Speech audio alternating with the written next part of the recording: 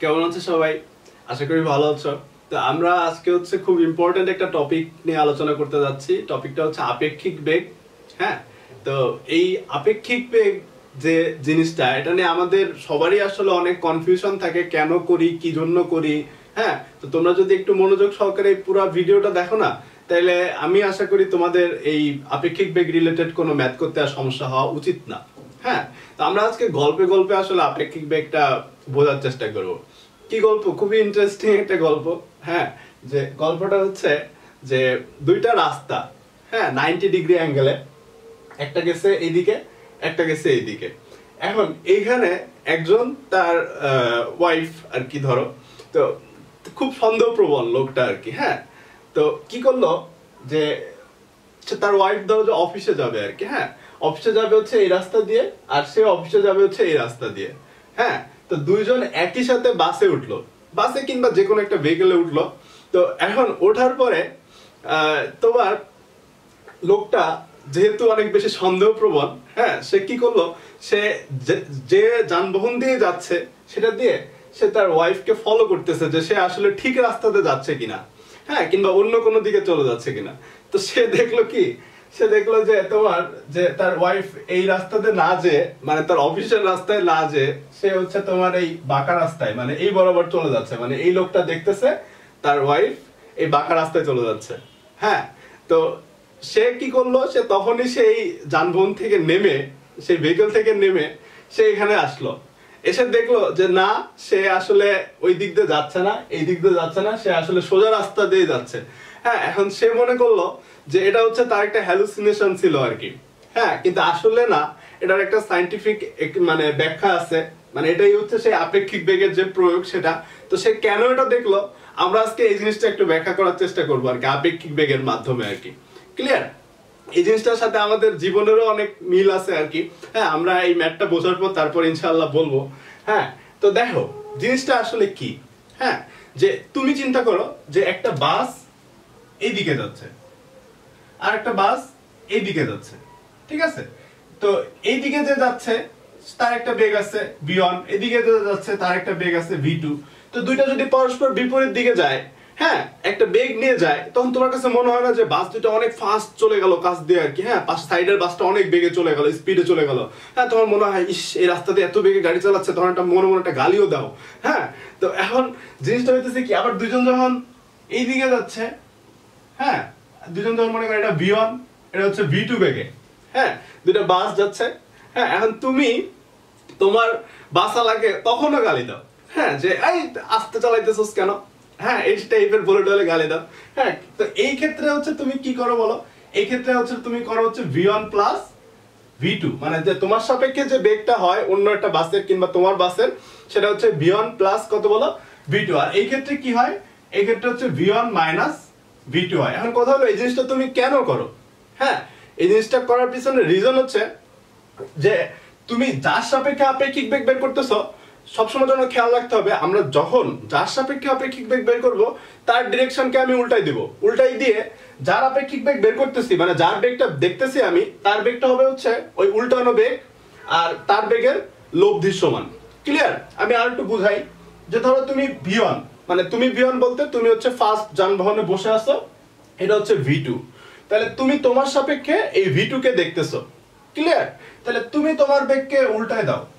উল্টায় দিলে, তাহলে তোমার বেগটা এখন কোন দিকে চলে যাচ্ছে? দেখো, এই ভি টু এর দিকেই চলে যাচ্ছে না? তাহলে এই ভি ওয়ান আর ভি টু এর যে লব্ধি, সেই লব্ধি কত হবে? দেখো দুজনের মধ্যবর্তী কোণ কত? জিরো এজন্য আমরা কি করতাম এখানে? V one plus V two করতাম। পরস্পর যখন বিপরীত দিকে যাচ্ছে তখন।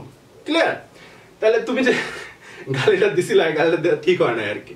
হ্যাঁ তো এখন এই যে এই ক্ষেত্রে যখন একই দিকে যখন দুইটা বাস যাচ্ছে, তখন কি করো দেখো? তখন তুমি তোমার সাপেক্ষে দ্বিতীয় জনের বেগকে তুমি দেখতেছো। হ্যাঁ তাহলে তুমি তোমার বেগকে তুমি কি করো দেখো? রিভার্স করে দাও, উল্টায় দাও ভিয়ন তাহলে পরে কি করো? এই ভিয়ন আর ভি টু এর কি বের করো বলো? লব্ধি যে বেগটা, সেটাই হচ্ছে তোমার সাপেক্ষে ভি টু এর আপেক্ষিক বেগ। ক্লিয়ার বুঝতে পারছি? তো তাহলে এই ভিওয়ান ভি টু কি পরস্পর বিপরীত দিকে, এই জন্য আমরা কি করতাম দেখো? ভিওয়ান মাইনাস ভিডিও করতাম। তোমার তোমার কাছে মনে হইতো যে আমার বাসটা আসতে চালাইতেছে কিংবা তার বাসটা আসতে চালাইতেছে আর কি। হ্যাঁ? তো এটাও কিন্তু তুমি ঠিক করো নাই আর কি হ্যাঁ? তো এই যে আমরা যে না জেনে অনেক সময় অনেক ভুল কাজ করি, এগুলো আর আসলে করা উচিত না। তো আমরা এখন এই যে যে লোকটা, এই লোকটা যে ভুলটা করছিল, তো সেই ভুলটা আমরা একটু বোঝার চেষ্টা করব আর কি হ্যাঁ? ক্লিয়ার তো এই ক্ষেত্রে তাহলে কি দেখো, এই ক্ষেত্রে হচ্ছে এই লোকটা এই যে ভিএ বেগে যে এদিকে যাচ্ছিল আর তার সাথে নাইনটি ডিগ্রি অ্যাঙ্গেলে তার যে ওয়াইফ যাচ্ছিল আর কি হ্যাঁ তাহলে আমরা লোকটা কি করতেছে? লোকটা হচ্ছে তার সাপেক্ষে তার যে ওয়াইফ তার বেগটা বের করার চেষ্টা করতেছে আর কি। হ্যাঁ তাহলে আমরা কি করব দেখো? এই লোকটার বেগকে আমরা কি করব? উল্টাই দিব আর কি। হ্যাঁ উল্টাই দিয়ে, তো এখন সরি সে আসলে দেখতেছিল হচ্ছে তার ওয়াইফ এই দিকে যাচ্ছে আর কি হ্যাঁ এইদিকে চলে যাচ্ছে।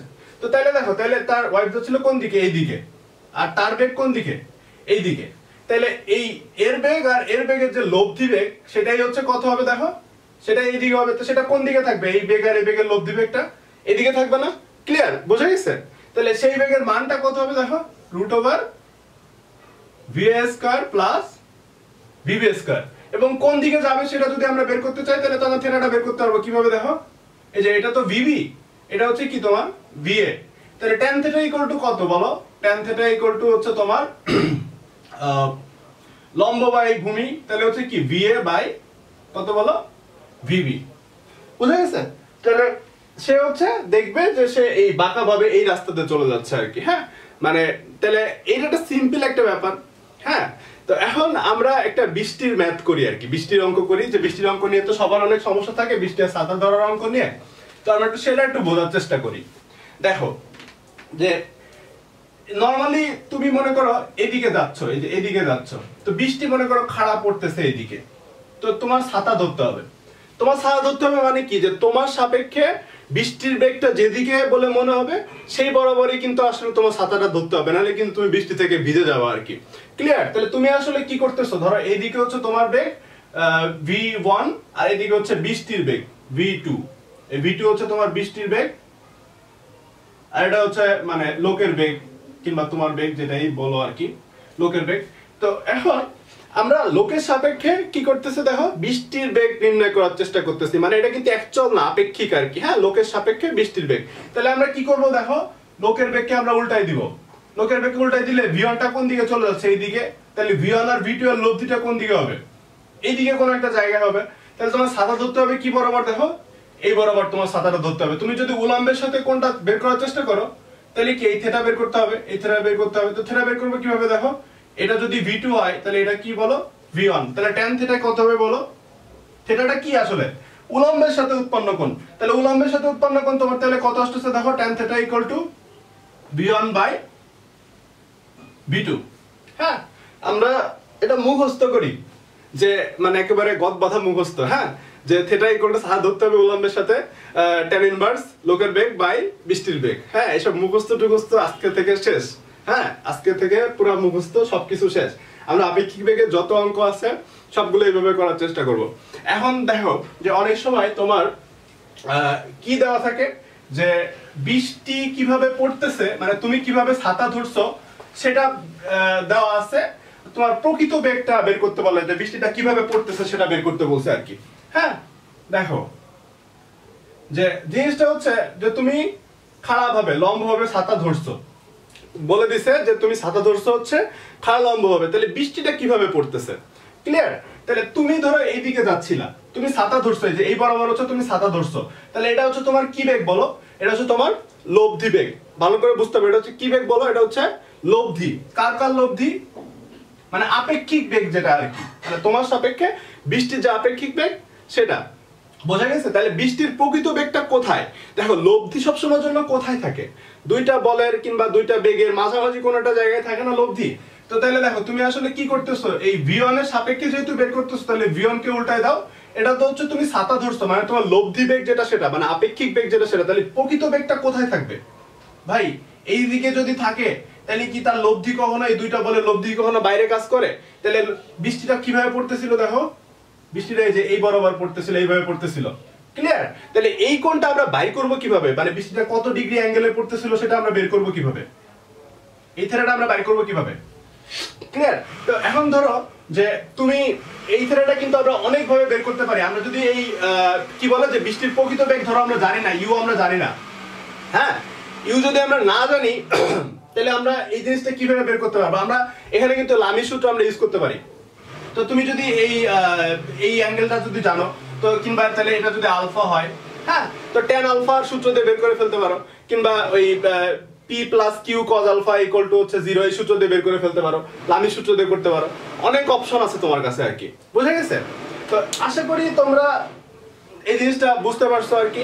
হ্যাঁ তো এখন এটার সাথে ওই আমরা একটু বাস্তব জীবন নিয়ে একটু কথা বলি আর কি। হ্যাঁ সামান্য, বেশি না। যে জিনিসটা কি? যে তোমার, এই যে তখন বলতেছিলাম যে লোকটা যাচ্ছে হচ্ছে এইদিকে, তার ওয়াইফ যাচ্ছে হচ্ছে এইদিকে, কিন্তু লোকটা দেখতেছে তার ওয়াইফ কোন দিকে যাচ্ছে বলো? এই বাঁকা একটা রাস্তায় চলে যাচ্ছে। হ্যাঁ? তো এটা কিন্তু আসলে আপেক্ষিক বেগের যে রেজাল্ট তা সেই কারণেই কিন্তু আসলে সেই জিনিসটা দেখতেছিল। এটার সাথে বাস্তব জীবনের মিলটা কোথায়? যে তোমার ধরো, তুমি যদি কাউকে জাজ করতে চাও, তাহলে অবশ্যই তার ট্রাকে এসে তার ট্র্যাকে এসে কি করতে হবে বলো?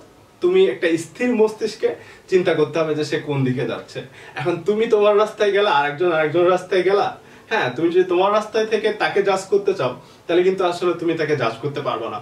এটা হচ্ছে একটা লাইফ ফ্যাক্ট আর কি যে আমরা এই- টাইপের অনেক জিনিস দেখি আশেপাশে, যে আমরা আমাদের জায়গায় থেকে অন্য একটা লোককে জাজ করতে চাই। এই ধরো যে এখন তোমার আমরা করোনার সিচুয়েশনে অনেক বেশি মানে ভীত সন্ত্রস্ত বলতে পারো, যে, যেটাই বলো না কেন হ্যাঁ তারপরে আমরা আমাদের প্রোগ্রামটা চালাই যাচ্ছি তোমাদের জন্য আসলে হ্যাঁ। তো এখন চিন্তা করো যে, এই যে যারা করোনার পেশেন্ট হ্যাঁ তাদের সার্ভ করতেছে কারা? তাদের চিকিৎসা করতেছে কারা ডাক্তাররা? তো এই ডাক্তারদেরও তো জীবনের ভয় আছে ভয় আছে না? তো অনেক ডাক্তার দেখা গেছে, তাদের ফ্যামিলি আছে, তাদের বাচ্চা আছে হ্যাঁ। তারা সেই ফ্যামিলি বাচ্চার কথা চিন্তা করে তারা হসপিটালে আসতেছে না। কেন আসতেছে না? তাদের ঠিক মতো প্রোটেকশনের ব্যবস্থা নেই। কিংবা অনেকে আছে হয়তো এমন টাইপের যে তারা চায় না আসলে সেবা করতে। সব ধরনের মানুষই কিন্তু আসলে থাকে। কিন্তু ব্যাপার কি? যে তুমি যখন একটা মানুষকে জাজ করবা মানে একটা ডাক্তারকে তুমি যখন গালি দিচ্ছ, কিংবা কিছু একটা করতেছো যে সে কেন চিকিৎসা দিচ্ছে না, তো তখন তার জায়গায় এসে তাকে তারপর জাজ করতে হবে। সে কি ঠিক মতো করে ইকুইপমেন্টগুলো পাচ্ছে কিনা সেবা দেওয়ার জন্য আর কি হ্যাঁ? এটাও কিন্তু আসলে আপেক্ষিক বেগের সাথে রিলেটেড তুমি যদি তোমার জায়গা থেকে চিন্তা করে দেখো যে সে কেন সেবা দিচ্ছে না আর কি, সেটা যদি তারা যদি গালি দাও, তো এই জিনিসটা কিন্তু আসলে ঠিক না হ্যাঁ? তো আশা করি তোমরা এটার সাথে রিলেট করতে পারছ জিনিসটা হ্যাঁ? তো নেক্সট ভিডিও দেখাবো সবাই ভালো থাকো, সুস্থ থাকো, সাবধান থাকো। আল্লাহ হাফেজ।